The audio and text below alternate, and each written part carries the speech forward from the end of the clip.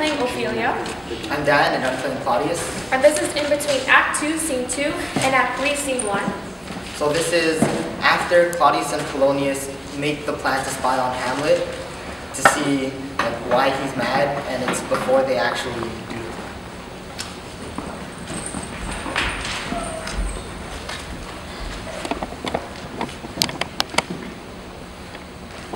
See, I know not if Ophelia, who by Hamlet's thrall will stay sovereign to my nation or holds him above all.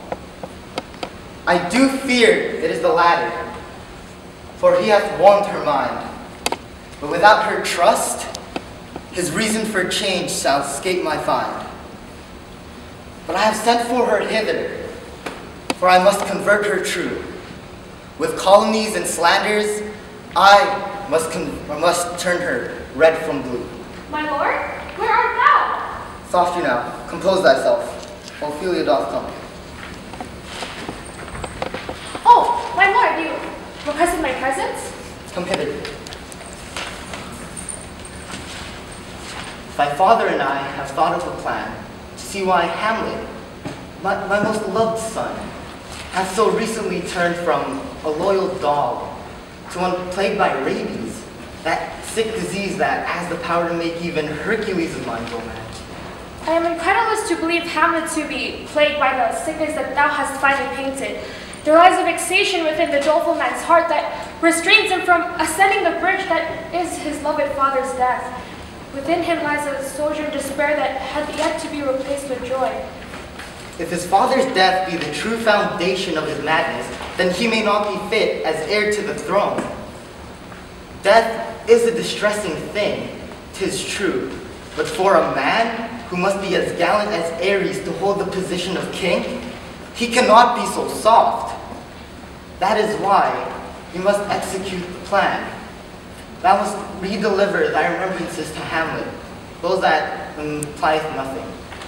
And thy father, with me, shall be concealed, like a rat behind a curtain, and we will hear your discourse to determine if thou art the true foundation for his madness.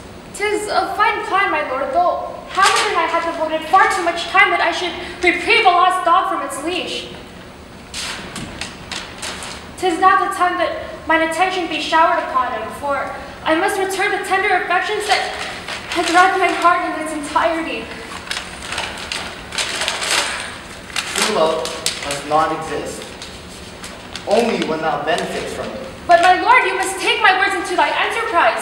Hamlet and I have formed a connection, one that fails to possess a price, for love does not regard one's own personal gain or distinguishes a muffin cap from a crown.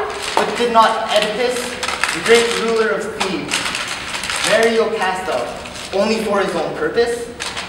This is true, my lord, but Oedipus did end up blinded. With his eyes, my soul cannot help but fall into Hamlet's loving tenderness. Thou wilt stop. Talk about Hamlet I will hear no more of this. If thou claim to care for thy most loved son, then why must thou possess such strong desires to deprive Hamlet of the sole acquaintance that provides him joy? Might thou be nervous that your image has been stained by Hamlet's discordant behavior?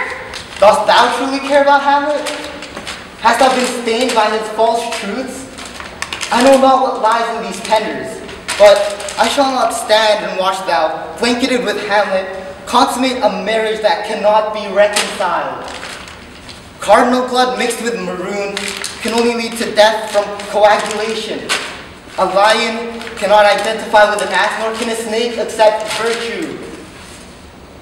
Thou hast not even had sense of romance with Hamlet, and there shall never be any. I do not want the discernment within thy austere address. Tis most certain within my belief that on account of my foremost encounters alongside Hamlet, not once have I planted a single weed, but a multitudinous garden, but a multitudinous garden of perennials within mine own garden. Through a swift event did wanton hours flee that you had been granted a most privileged position, but I must tell you this. Sundry men are born to hold a righteous position, while others are consumed by treachery. When methinks there lies a fatal invalidity, for a cardinal cannot partner with Dishonesty! Ophelia! Tis true. King is the title of thee, but a sincere surrogate to a regal son is what thou shalt never be!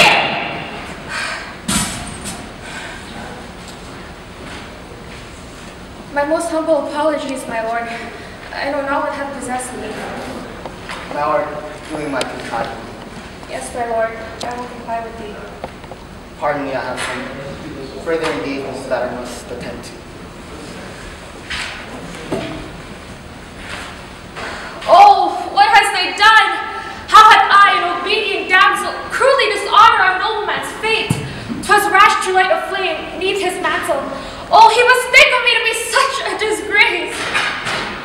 Thou shalt conform, Ophelia.